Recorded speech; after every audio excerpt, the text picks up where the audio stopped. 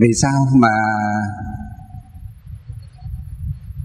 chúng ta là một đạo tràng trình độ nay lại tiếp tục à, khai kinh địa tạng mở pháp hội địa tạng? Có những vị phật tử à, hỏi chúng tôi rằng á à, vậy thì à, thầy không làm theo lời dạy của hòa thượng tình không? Là viện chủ tịnh tông học hội thế giới mà các quý thầy đang theo hay sao?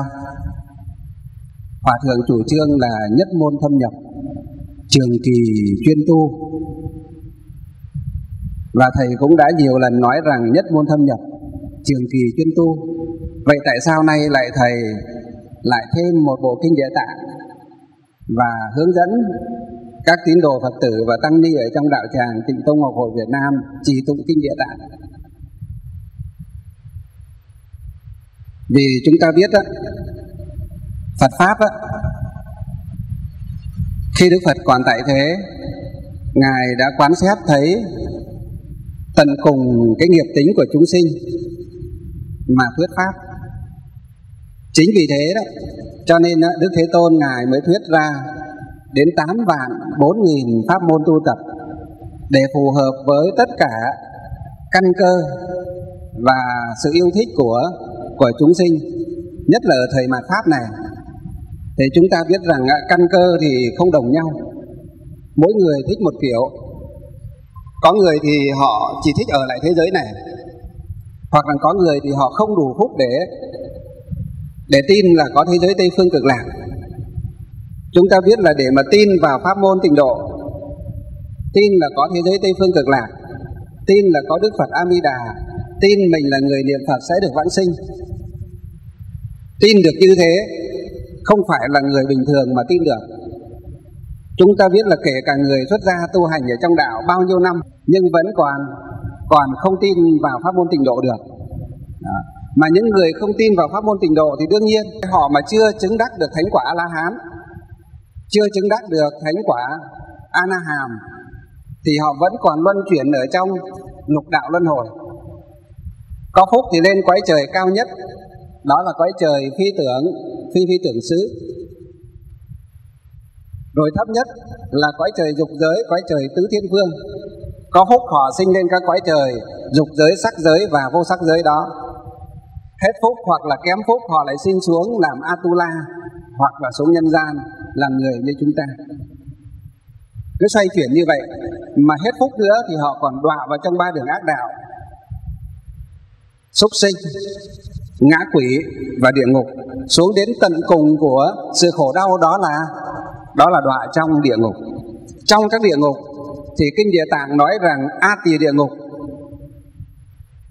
Chúng sinh ở nơi đó chịu khổ báo lâu dài nhất và khổ cực nhất. Mà đã đọa vào trong địa ngục A Tỳ rồi thì không biết bao giờ cho ra được. Cho nên ở trên pháp hội,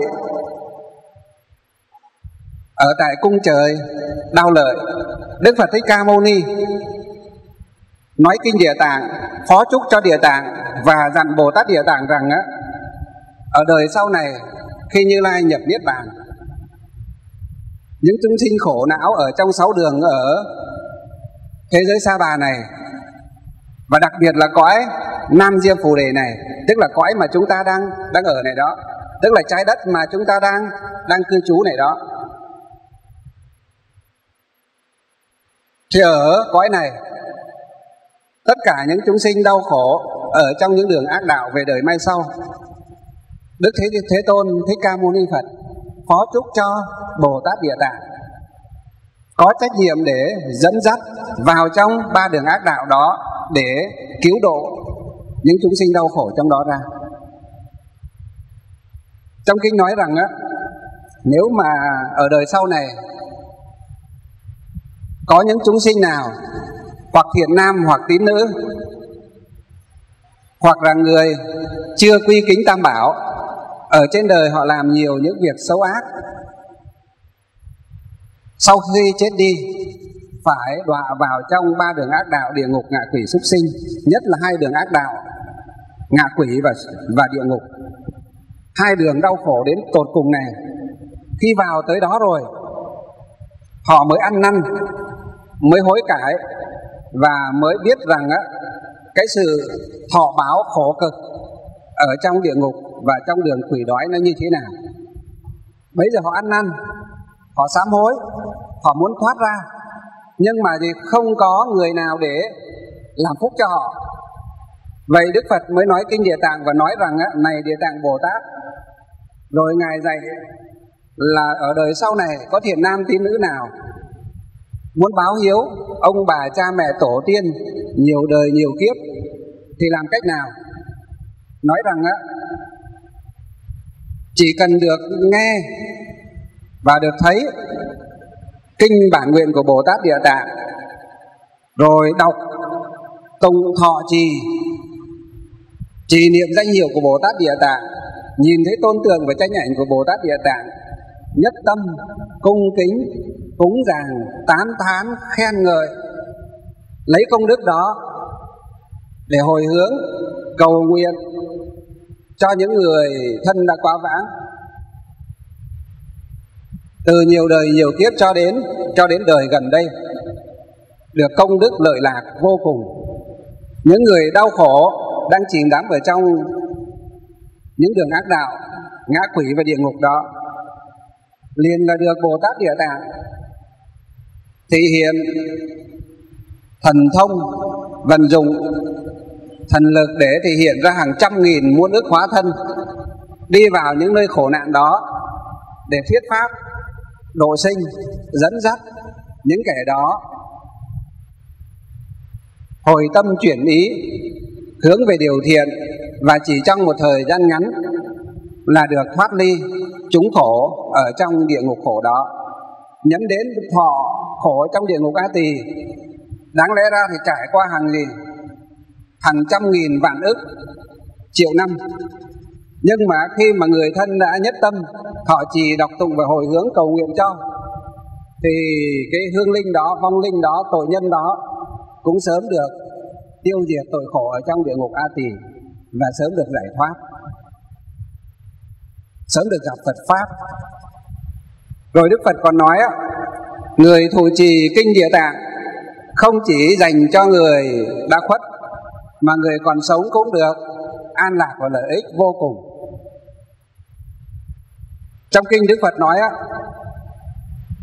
người mà ngu si, đần độn học mãi không vào. Đức phật dạy là đối trước tranh ảnh, tôn tượng của bồ tát địa tạng, nhất tâm thủ trì kinh địa tạng mỗi một ngày chọn đủ ba thời. Tức là hết cả một quyển đó. Hết cả một quyển có ba phẩm trung thượng và hạ đó. Trong kinh nói là người đó ngu si, dần dần cũng được gì? Khai thông trí tuệ, học hành, nhớ biết trí tuệ, thông mở rồi kinh cũng nói nữa, người ở thế gian, vì cái nghiệp chướng, lâu đời, lâu kiếp mình đã tạo. Cho nên á, khi mà mắc cái bệnh khổ, cầu chết thì không chết cho, cầu sống thì cũng không khỏi bệnh. Cầu khỏi bệnh không khỏi mà cầu chết cũng chẳng được, cầu sống cũng chẳng xong. Đức phật nói bây giờ thì nên gì? Đối trước tôn tượng của bồ tát địa tạng, hình ảnh của bồ tát địa tạng. Có thể, nếu mà người ốm đó không đọc tụng được nữa, thì dùng người thân hoặc thỉnh chư tăng đọc tụng kinh địa tạng. 7 ngày cho đến 21 ngày, lấy công đức đó để hồi hướng, thì người đó nếu mà mệnh hết thì sẽ nhẹ nhàng ra đi. Nếu mà mệnh mà còn thì sẽ gặp thầy gặp thuốc, dần dần bệnh tình sẽ thuyên giảm.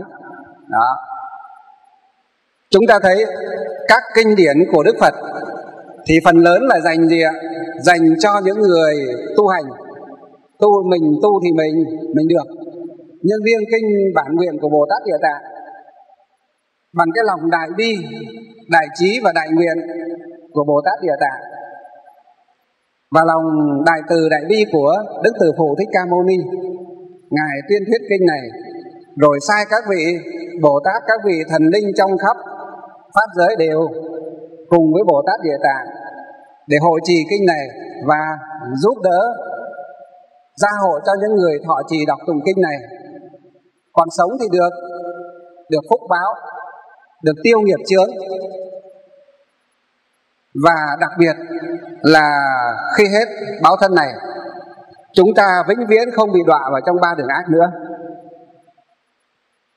trong kinh nói là người mà thọ trì nhất tâm, thọ trì đọc tùng kinh bồ tát địa tạng thì vĩnh viễn không bị đọa vào trong đường ác nữa. Vì sao trong kinh lại nói như vậy? Vì đọc tùng thọ trì kinh địa tạng, chúng ta hiểu được cái lý nhân quả mà đức phật đã nói ở trong đó. Giáo lý của phật đà ở trong kinh địa tạng rất thâm sâu, rất huyền diệu, nhưng ngược lại cũng rất là gần gũi ngay với cuộc sống của mỗi tăng ni tín đồ phật tử của chúng ta, nhất là thời mạt pháp này vì sao bồ tát địa tạng lại kể với thánh mẫu ma gia là thân mẫu của đức phật về gì? Về các địa ngục khổ. Vì muốn cho chúng sinh ở cõi nam diêm phù đề chúng ta này biết được rằng chung quanh chúng ta trong cuộc sống này chết chưa phải là hết, mà chết chỉ là một sự gì? Thay đổi về cái hình thức và cái thân thể, cái trạng thái tâm thức của chúng ta chuyển sang một đời khác mà thôi. Tùy theo nghiệp báo. Cái nhân mà chúng ta trồng ngày hôm nay thì sẽ được hưởng cái quả báo, hoặc là tốt hoặc xấu, ở đời sau.